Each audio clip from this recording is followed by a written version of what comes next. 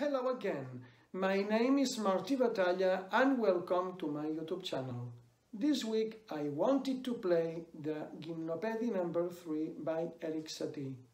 This piece has been written for piano, but I wanted to create a version for guitar and harmonica.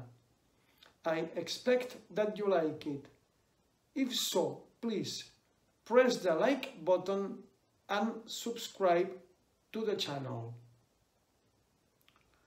For further information, you can visit the website martibatalla.com.